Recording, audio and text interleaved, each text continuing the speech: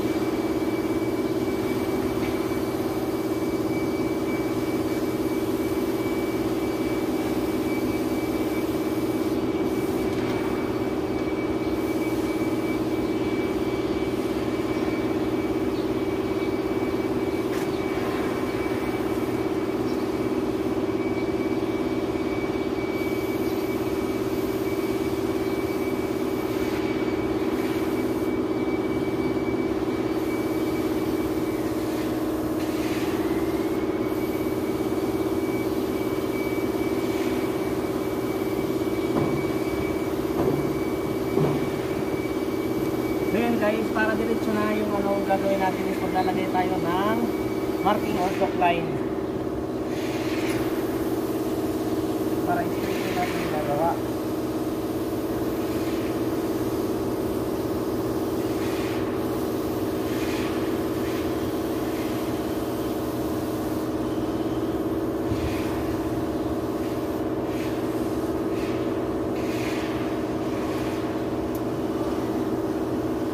So nakita nyo guys, mayroon marking.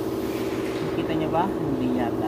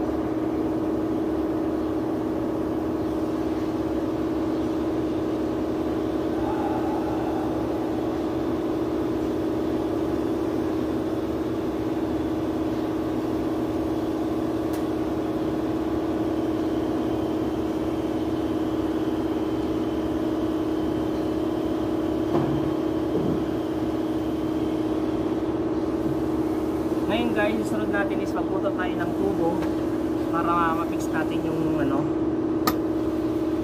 yung elbow at saka yung uh, coupling dun sa tubo.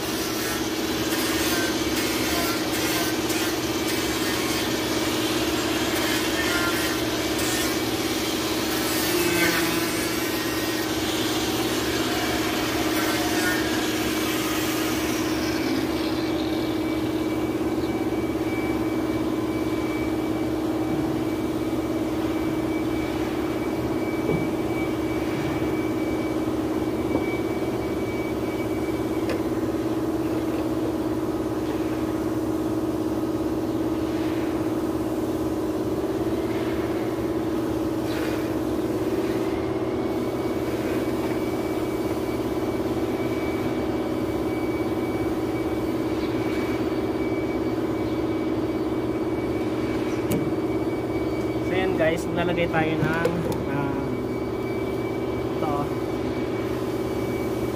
Negro lubricant na pipe jointer lubricant kasi hindi na tayo gumagamit dito guys ng ano ng glue. Kumbaga yung permanent glue hindi. Kailangan yung rubberized ang gamitin natin para mas madaling i-fitting. Kasi pagka yung permanent guys yung gumagamit tayo ng mga solvent, mahirap kasi fit yung guys. Tsaka hindi uso yun dito. Sa Pilipinas lang yung guys na nagkakaroon ano na gagamit. Dito ginagamit namin talaga is ito rubberized kaya meron ganyan. Hindi man siya. Ayan.